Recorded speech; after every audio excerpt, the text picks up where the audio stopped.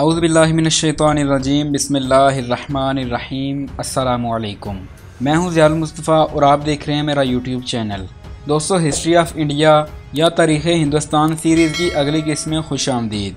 मोहम्मद बिन कासिम ने सिंध फतह किया। सुल्तान महमूद गजनवी ने हिंदू पाकिस्तान के सिर्फ़ एक सूबा, यानी पंजाब, को अपनी सल्तनत में शामिल किया। मगर जिस मुसलमान बादशाह ने हिंदू पाकिस्तान के कलब में, यानी हिंदू पाकिस्तान के दिल में इस्लामी हुकूमत की दाग बेल डाली, वो शहाबुद्दीन मोहम्मद गौरी था। दोस्तों, सबसे पहले तो हम ये जानने की कोशिश करते हैं कि गौरी लोग कौन थे, इनका पस मंज़र क्या था और ये कहाँ से आए थे।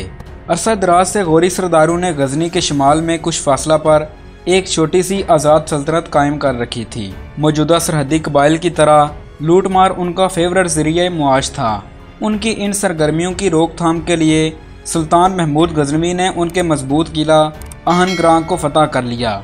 उस वक़्त से सरदारान गौर, शहान गजनी के ज़ेर साया रहने लगे और थोड़ी मुद्दत में तमाम गौरी कबीलों ने इस्लाम भी कबूल कर लिया।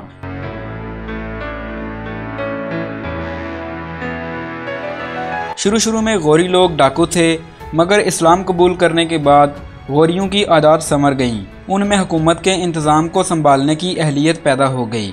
ग्यारहवीं सदी के आखिर तक गौर के रईस इतने ताकतवर हो गए कि सल्तनत गजनी के सुल्तान मसूद ने गौरी सरदार इज़ुद्दीन हुसैन की बादशाही को तस्लीम कर लिया।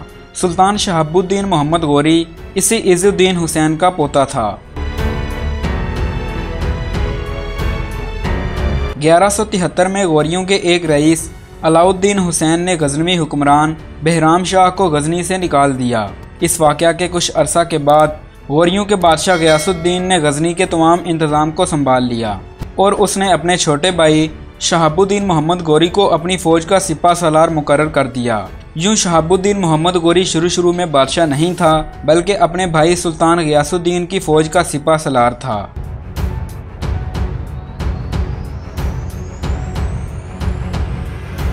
इसी सुल्तान शहाबुद्दीन मोहम्मद गौरी ने बाद अजा हिंदुस्तान में एक मुस्तकिल इस्लामी रियासत कायम की। दोस्तों, अगली वीडियो में हम सुल्तान शहाबुद्दीन मोहम्मद गौरी के तमाम वाक़ात और तमाम कारनामों के बारे में बात करेंगे। तो शहाबुद्दीन मोहम्मद गौरी की बायोग्राफ़ी जानने के लिए हमारे चैनल को विज़िट करें और चैनल को सब्सक्राइब करना मत भूलें।